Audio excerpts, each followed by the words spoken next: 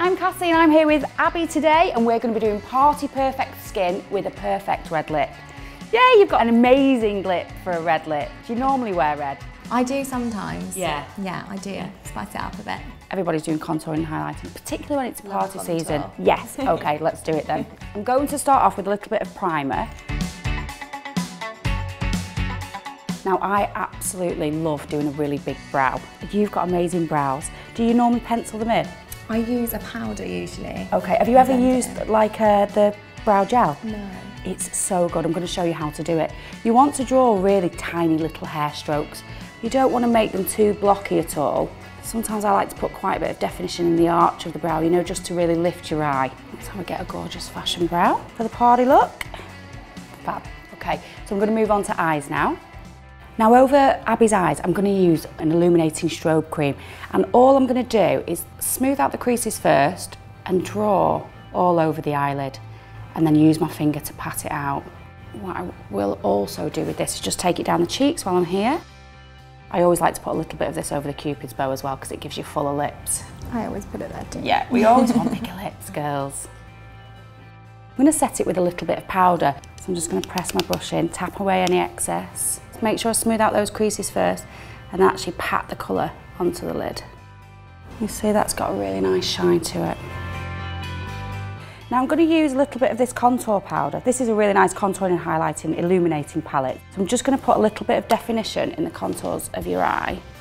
Use the same powder in the hollows of the cheeks so it gives you a little bit of definition here.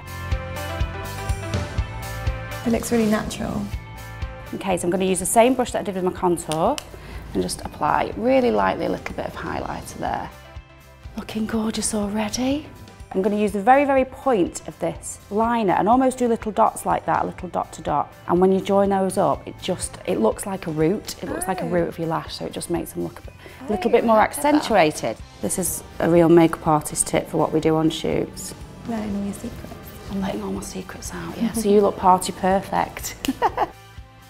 okay, we're going to move on to mascara now. Now this is a fibre mascara. So fibre mascaras are great because they have like little tiny particles in them so they grip onto the ends of your lashes and make them longer. So longer lashes is definitely the theme of this look.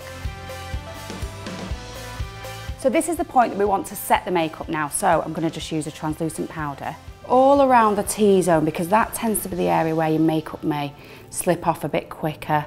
So we want to set that. Right now, Abby, how do you feel about red lip? I'm nervous. Okay, how's about you apply it? Let's see how well you do. Start in the middle of your lips and then move out.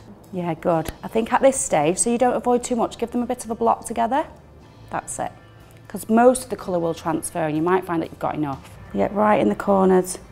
Because if you're doing a lot of singing at this party night, you don't want to have gaps. Good job. Great. Now we need a blot and then a second coat.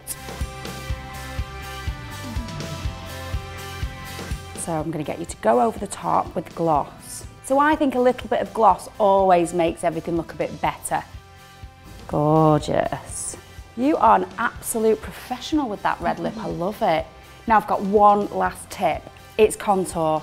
It's going crazy with contouring. So all you would do is you would draw a little line and blend it away. Or if you wanted to do down the sides of your nose, you could do.